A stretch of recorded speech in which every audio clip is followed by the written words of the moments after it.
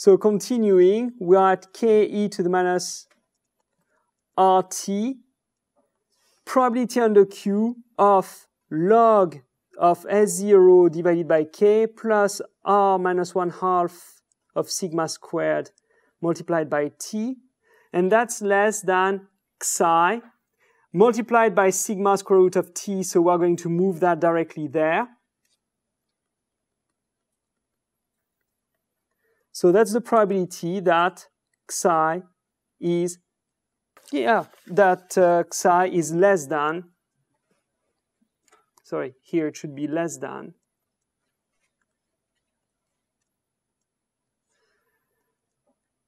log of S0 over k plus r minus 1 half of sigma squared t divided by sigma square root of t. And that's exactly n of d2.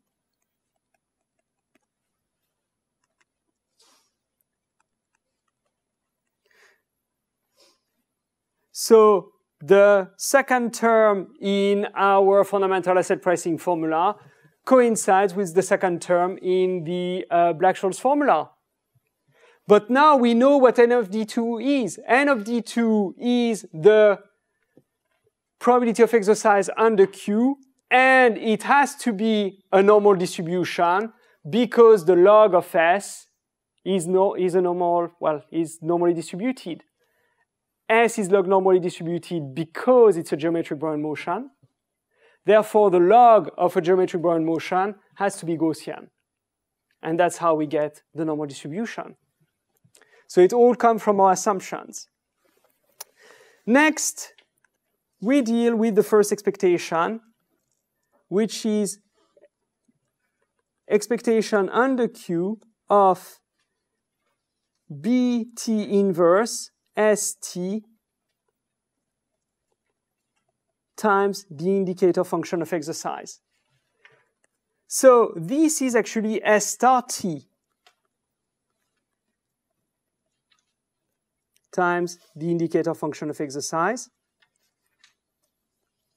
And we can write that as expected value under Q of uh, S0 that's the same thing as S0 star, times exponential of sigma xtq minus one half of sigma squared t multiplied by the indicator function of exercise. This is a constant, we move it out.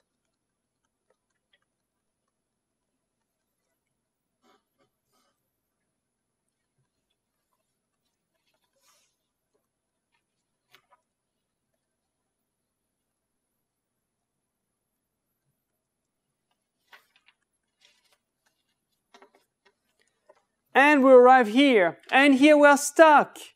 We got an exponential that's uh, in the middle of the way, and we've got this thing that's actually quite nonlinear. So we can't take that out of the expectation.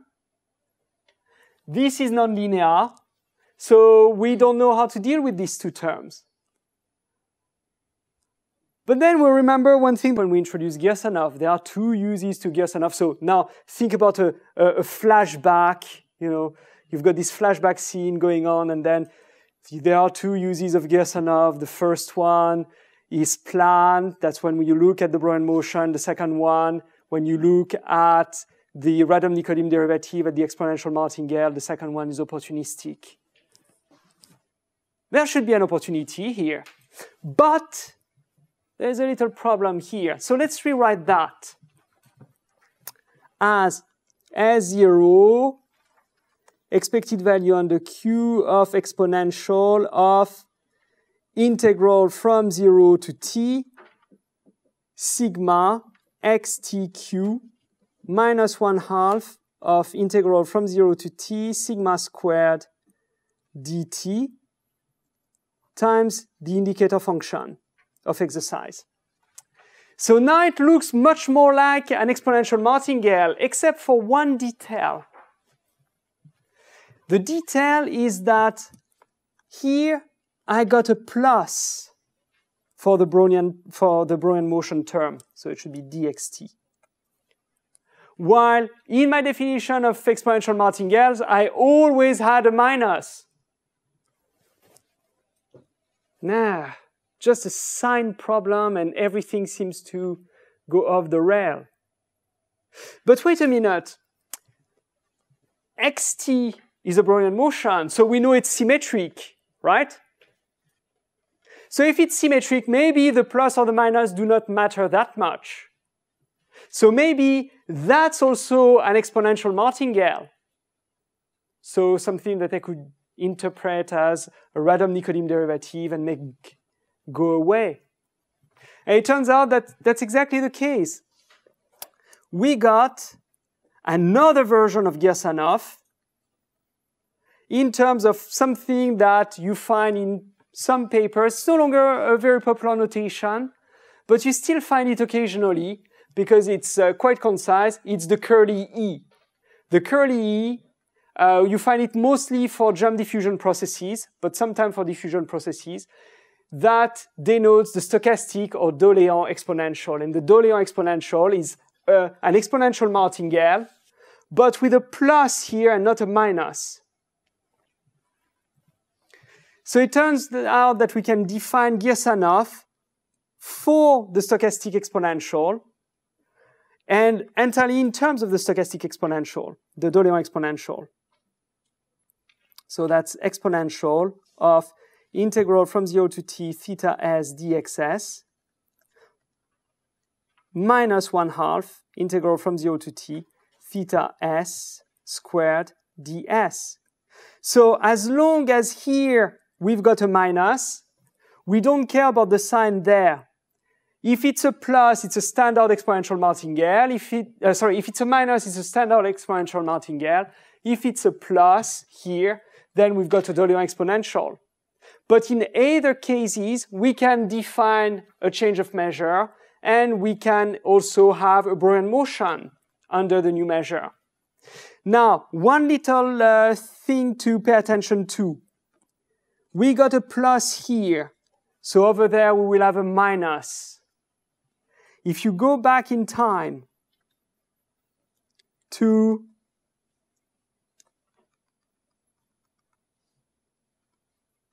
Now that's a bit too far.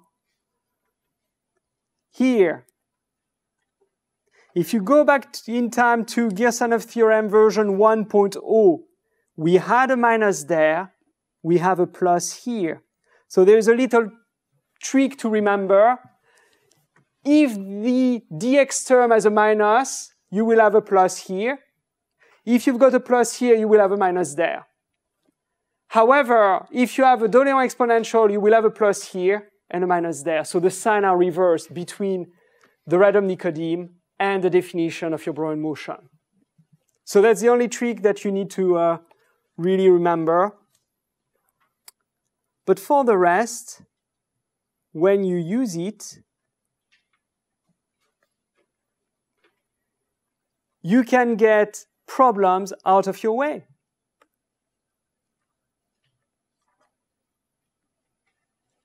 So, now, if I go back to uh, my note, now we know that this is a Doléans exponential. So we can write it out as a change of measure process from a measure, our measure Q to a measure Q bar. So we use that as a way to define dq bar over dq. So that's our new Radon, new Radon-Nikodym derivative. Let's call it lambda bar as exponential of theta xtq minus one half sigma squared t. And under the new q measure, we can define the new Q bar measure as based on the Brownian motion minus a bit of volatility. And that gives us the new Brownian motion under P, under Q bar. So what we've done so far is start from planet Earth with P and then, and with XT. Then we move to planet Q, to planet finance, so planet Q, with dq over dp. and we define XTQ, the Brownian motion, so the model for risk in planet finance. And we did that with XTQ is equal to XT plus mu minus R divided by sigma times time. Now we're defining a new measure, Q bar, with dq bar over dq. I'm not telling you what planet it is yet, but I'm going to tell you that the unit of risk over there, the process for risk over there, x uh, bar t is given by x bar t is equal to x qt minus sigma t. So of course you can then unravel that to get x bar t as a function of xt. You see, we can hop directly from p to q bar if we want, if we, if we so wish. Uh, we build that sequentially. A planned use in order to get the fundamental asset pricing formula, and then an opportunistic use. And we're going to see why this opportunistic use is so nice. So here the key point was the fundamental asset pricing formula. Integral one was EQ of, uh, so S0 here, EQ of exponential of sigma x t q minus one half of sigma squared x uh, um, t times the indicator function of exercise. Let's open this expectation up, write it as an integral with respect to dq. So that's S0 integral over omega of something with respect to dp, uh, dq bar. So dq. So that's our expectation here. Now, this, we've used it to define a new measure q bar. So this exponential here, this Doléans exponential is actually a Radon-Nikodym derivative. It's dq bar over dq. And then we still have unchanged the indicator function of exercise. So what must happen will happen. The two dq's take care of each other. And we are left with S0 multiplied by our expectation expressed as an integral but now it's with respect to the Q bar measure. So we can rewrite that as S0 time expectation under the measure Q bar of the indicator function.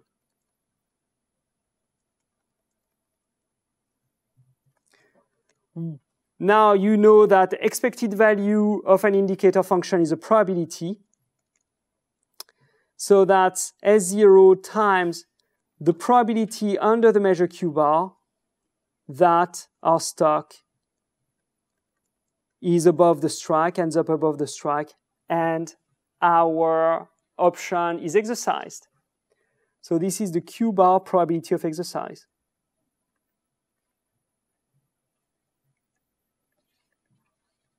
And of course, we could follow the same steps as we did with the measure Q to find to uh, find that actually this corresponds this is the same thing as S0 n of D1. That's really the same derivation again with the same tricks again. So n of D1 is a probability of exercise, but not in the real world. It's in another world. So we set out to create one equivalent measure to make the mess go away, to make our calculation easy. We ended up finding two equivalent probability measure. How many do we, do we have really?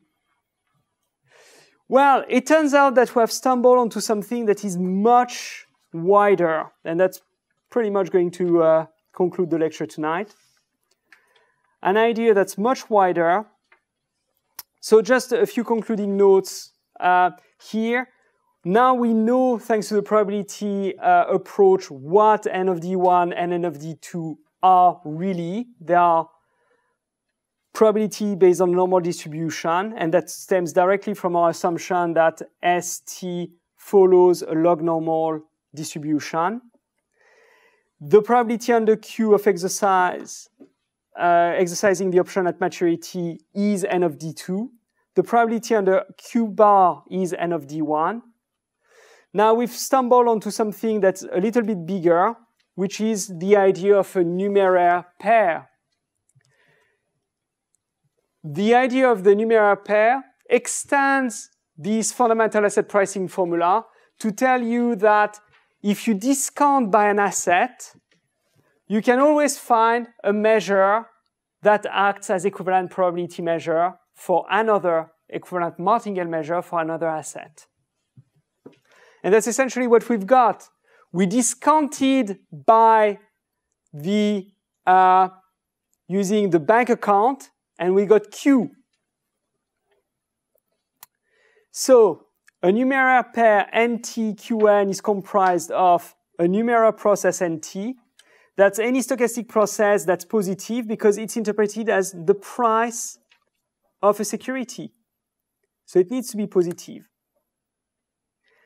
and an equivalent martingale measure Qn. So if you pick a numeraire, you can find an equivalent martingale measure. And if you pick or find a, uh, an equivalent martingale measure, you can always try to look for the numeraire. Because your fundamental asset pricing formula doesn't just work with B, T, and uh, the Q measure. It works for any numeraire pair. So you use one asset to discount, and when you take the expected value under the paired uh, measure, you will get the derivative price. So if you imagine what we did so far was to get to the Q measure, we discounted everything using the bank account. So the bank account was the currency in our economy. So we discounted using the bank account. We found the Q measure and we found the first fundamental asset pricing formula. But just imagine what would happen if we were shifting in an economy where everything is priced in terms of stock. You go to do your groceries, you pay for your groceries using stock. You pay for your utility bill using stock, not using cash, not using the bank account then you would be able to discount everything using the stock, and it turns out that the equivalent martingale measure for our problem would actually be Q bar. So we already found two equivalent probability measures and two numeraire pairs tonight.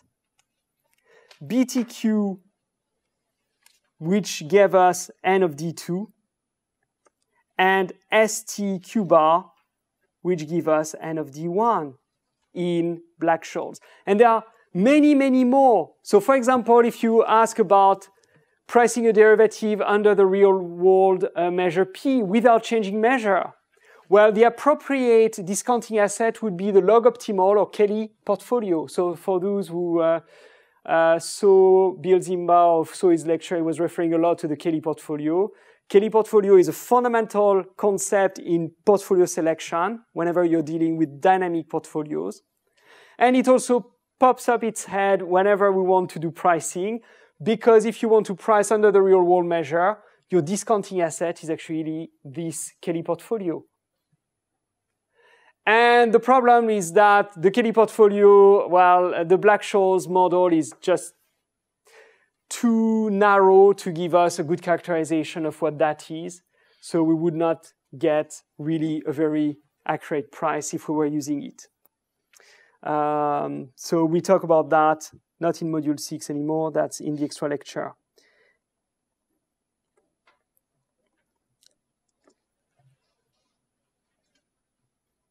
So the fundamental asset pricing formula does not depend on the measure you're in. And if you think about your uh, binomial model, there are many binomial implementation out there. Each of these implementation is actually tied up into a discounting asset and a probability. So if you fix the probability, you will get a different discounting asset. If you fix the discounting asset, you will get different probability. Okay? So that's also why people tend to have a kind of mystical view of change of measure. It's also because of this result. What we've done tonight is not unique, but it was dictated by the problem, or it flowed from the problem. But it, it enabled us to see that we could price any derivative using combination of discounting asset and probability uh, measures to help us get our calculations, make our calculations a bit easier. So uh, just to conclude, I'm going to leave Feynman-Kac for tomorrow because it also has its place to play tomorrow. So Feynman-Kac, I'll talk about it right at the beginning tomorrow. But to conclude, we saw that n of d1 is the probability of exercise when we are in Q bar and when we discount using the stock price. That we didn't exactly see, but I, I tell you. And n of d2 is the probability of exercise in the real world, in the risk neutral world Q. So when we discount using the bank account. But to go back to this interview question, what is the real world probability of exercise?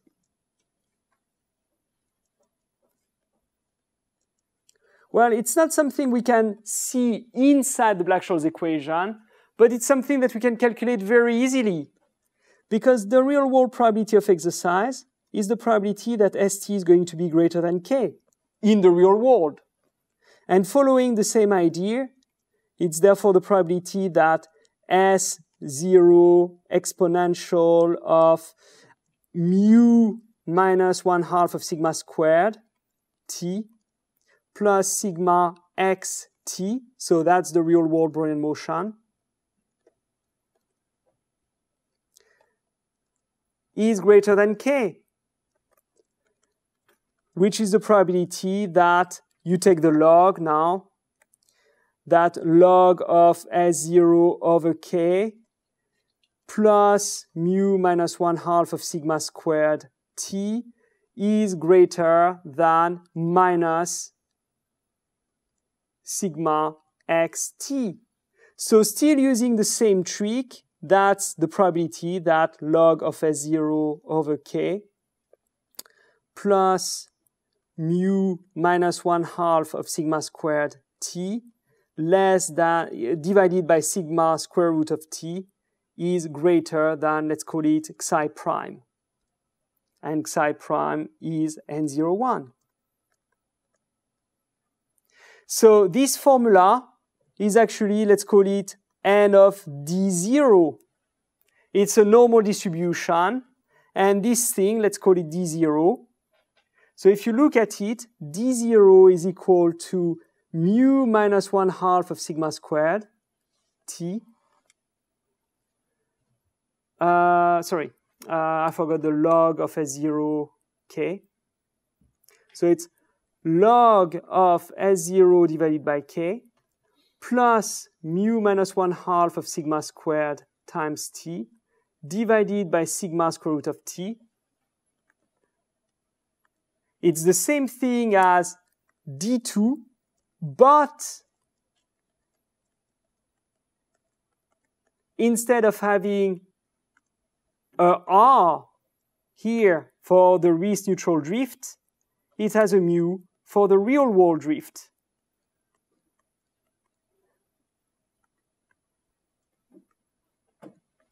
You see? So you could really calculate it without knowing anything about Black-Scholes. The only problem is this is utterly useless in the real world because we don't know how to estimate mu. We're back to what we were saying in terms of portfolio selection, which is getting your uh, drift or getting your expected return is a pain. It's certainly not constant, and estimating it is difficult. That's why n of d0 is useless from a practical perspective. But it's still a great interview question to see if somebody really knows their Black-Scholes. So I'm going to leave it here for, for tonight. Tomorrow we'll only, will pretty much be dealing uh, exclusively with the binomial model. So all we will need are to know how to add, subtract, divide, multiply. We'll use a little bit of uh, Taylor, but just in order not to uh, lose any of our good old habits. And we are going to try to connect the dots between the binomial model, the PDE approach, and the probability approach. What does it all mean, and why does it give us the same answer?